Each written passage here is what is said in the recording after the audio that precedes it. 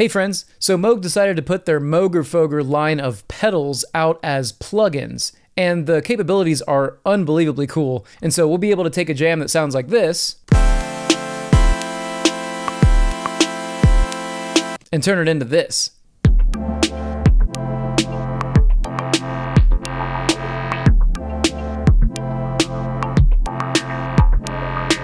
Cool, so let's check it out.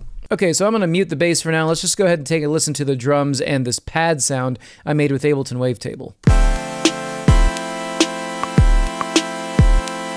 So obviously the pad is very bright and it's kind of in the way. So let's first start with the most basic Moogerfooger pedal and that's just the filter. Now of course Moog's ladder filter is probably the most popular filter that's ever come out in the world. Now this is not analog of course because it's a plugin, it's digital, right? But they did I think a pretty good job of doing their best to emulate this sound and the most classic sound being the four pole filter. Now that's without any resonance. With resonance of course and then, of course, it screams when you turn the resonance up. And that's kind of just a, of, of, a feature of the original ladder filter. So with the resonance set around 4, we get a really pleasing kind of sweep here. Now, of course, with the filter, one of the most fun things to do is to animate the cutoff frequency. So one thing we could do is we could feed the cutoff frequency some sort of modulation. Now on board we have a envelope, right? And so if I turn the envelope amount, what this will do is whatever the Moogerfooger is listening to, which at this point it's listening to the pad, it will apply that envelope to the cutoff frequency. So take a listen to what happens.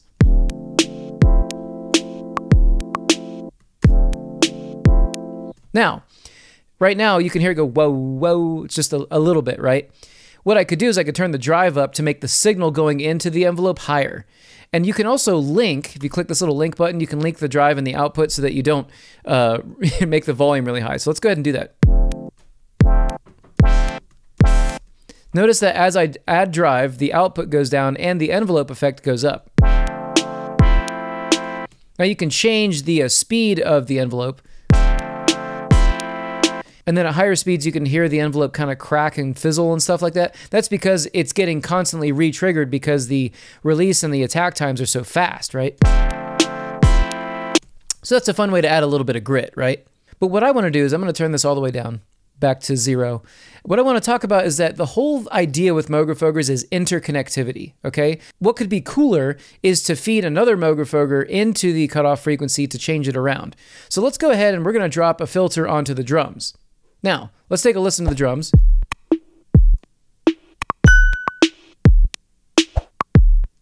Now, I don't necessarily want the filter to be on the drums, but what I do want to do is use the envelope follower from the drum track to trigger changes on the cutoff frequency on the pad track, okay? So what I'll do is I'll just deactivate this filter. I'll go back to the pad and I'm going to click up here. Check it out. When you click up here, you can see, okay, there's some connectivity going on. Now, what I want to do is I want to animate the cutoff frequency. So if I click on this, I'm presented with two different envelopes, right? And what I want to choose is I want to choose the envelope from the drums. So I'll choose that envelope. And now I'll unsolo the drums and let's take a listen to what happens. Cool, so what we're doing is we're using this envelope to trigger this cutoff frequency on the pad. So what we can do is we can start to mess with this a little bit. And we can see the envelope amount right here. Now, of course, because we don't have as much drive as we might need, it's not having as much of an effect. So I can start to crank this up a little bit. I'll go ahead and link the drive and the output, and we're going to get... Right? Sounds awesome. Now let's do something else. Let's go back to this track. So another thing to know is that the cutoff frequency can actually be positively or negatively affected. So right now we can see it's going into the positives from the cutoff frequency. It goes up here, right? But I think it'll sound better if we go into negative territory. Check this out.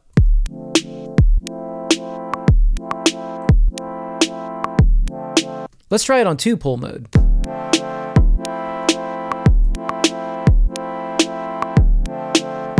awesome. Now we have a pretty cool sound. It kind of sounds like we've got like a sidechain compressor going on, but instead it's a filter, right? Okay, cool. So let's reach for another Moogerfooger. Let's go with this delay. Now, You can go ahead and time sync the delay with this time sync, and you can get some, you know, really, really pleasing delay sounds out of this. Let's just listen to the uh, pad by itself. And right now it doesn't have any feedback. If we add some,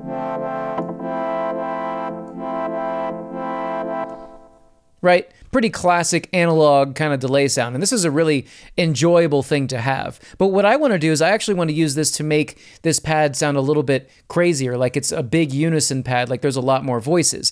And the way that you do that is that if you use this LFO side here, what this will do is it's a delay line. So it'll change the, the delay time uh, using this LFO. So the amount is actually just changing the delay time. Now, what this will do in the analog domain is it will actually change the pitch. And so what this will do is this will give us a really big like unison kind of sound the more amount I add to this. So take a listen.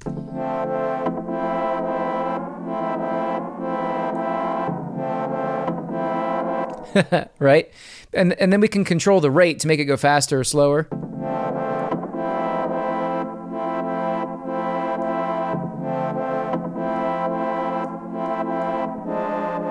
Nice. I like that sound. Now, I think this makes it sloppy, so I'm actually going to put this delay before the filter. Now we get this sound. Super cool, right? Okay, let's reach for another Moogerfooger. Let's go with the ClusterFlux. This thing is cool. So yeah, the ClusterFlux is awesome. It's essentially a flanger and a chorus. It's a delay line, but this time it's stereo. So when you mix the dry signal with the fully wet signal, you get this really nice big wide stereo sound. And I'm not a big fan of like a lot of feedback on a flanger. I like it light so you can just get that nice stereo.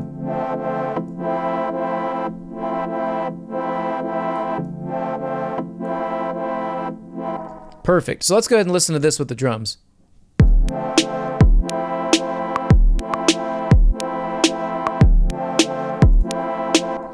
cool. Let's go ahead and listen to this bass line.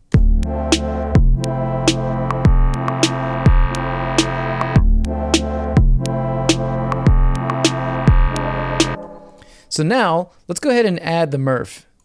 Yo, I teach Ableton a lot. If you're tired of spinning your wheels on YouTube and you want to learn music production correctly and efficiently, I'm your mango.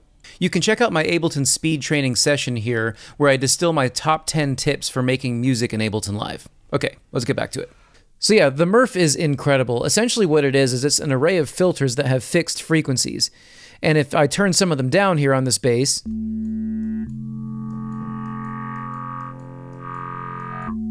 it kind of acts like a pretty weak graphic EQ, right?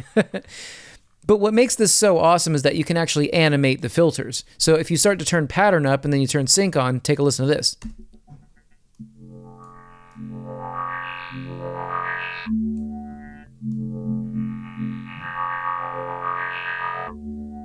So all of these patterns are just basically sequencers stepping through the different filters and playing them one at a time. So you can change the envelope quality of it by making it more snappy by going this way.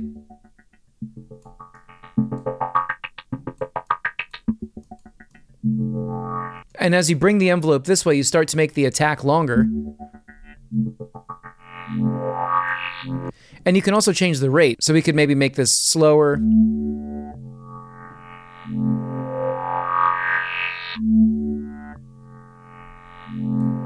So essentially what the MuRF can do is super animate your stuff. Now you might be looking at this and being like, okay, you're using a bass, you should probably switch it to bass mode. So what's up with this? Well, essentially you can see that there are two different uh, filter frequencies available for each of these filters, and that's essentially what the switch does. It switches between these and these. Now, even in the manual, it suggests that if you're using bass to switch it to bass mode, I'm not necessarily sure I agree. I think it's just two different voicings, so maybe one you like more than the other. Let's go ahead and use the bass one and take a listen.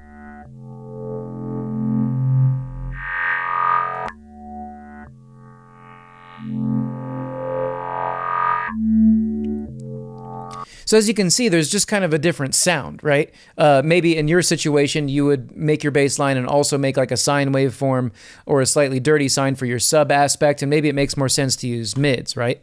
Cool, so now that you know what it's doing, let's go ahead and maybe uh, dial this in with the rest of the jam and kind of figure out maybe something fun to do with it. So...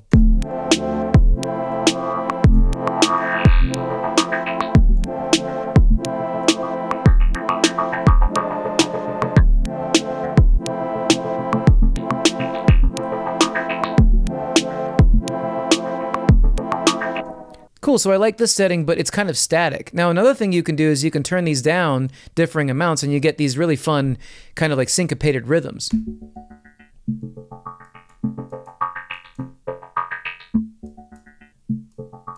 Because if you could visualize it, it's going one, two, three, four, like kind of stepping through these filters. And if one of them's all the way down, it'll skip a step, right?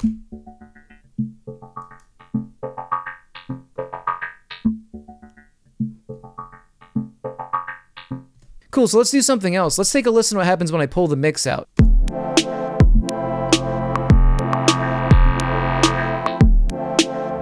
That's pretty cool. Let's go ahead and mess with this. So I'm going to click up here, revealing the CV connections. And what I'm going to do is I'm going to work on mix.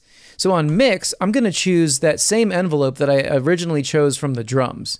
And as I pull this down, take a listen.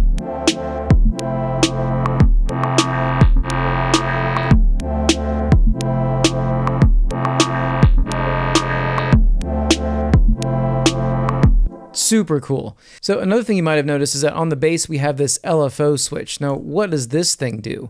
Essentially what this is, is it will animate the filter's cutoff frequency. So what I'm going to do is I'm going to go up to the LFO amount, make sure the LFO is on, and I will choose DC. Now what this does is this allows you to just simply use the knob or Ableton if you want to use Ableton's parameters, right? You can see it kind of appear here, LFO amount it'll allow you to actually automate this. So I'm just going to turn this up a little bit and take a listen to the difference as I turn it up.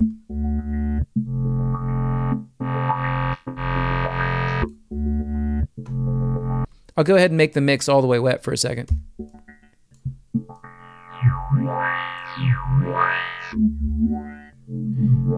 We can hear that LFO sweeping those frequencies. Okay, so I'm going to bring the envelope back down.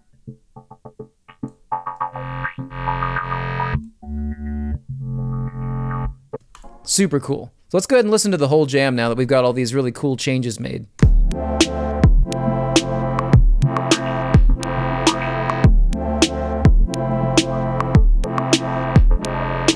Okay, so maybe for a final touch, let's do something really creative. I'm gonna make a new audio track and I'm gonna feed it from the first drum track. So I'll set it to in, and now we have another track basically playing the drums. And so this time I'm gonna reach for the FreqBox. So I'll go ahead and mute everything else and I'll turn the mix all the way up on this. So now we just get the drums and this FreqBox.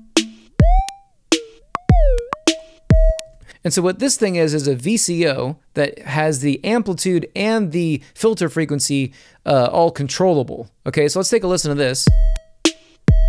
If I turn up the FM amount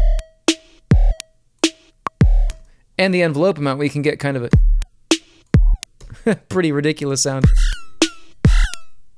Right? Pretty nonsensical. But let's grab another MuRF and put it after it. And check this out. Now we have this really nice and bright signal, we can kind of make some weird hats out of it. So maybe something like... Go ahead and sync it.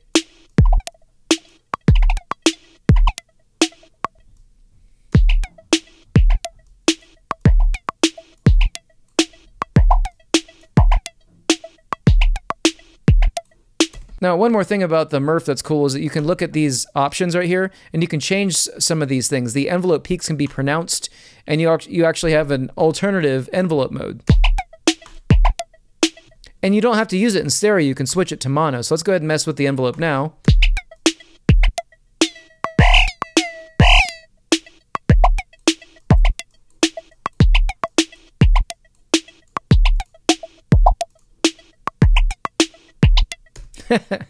okay, that's weird.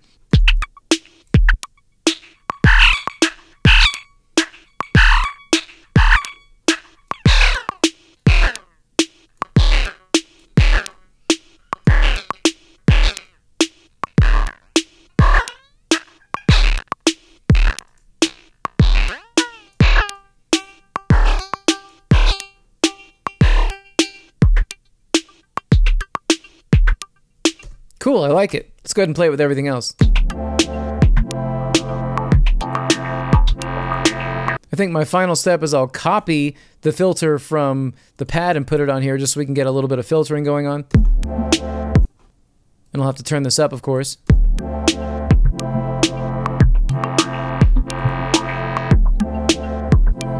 Nice.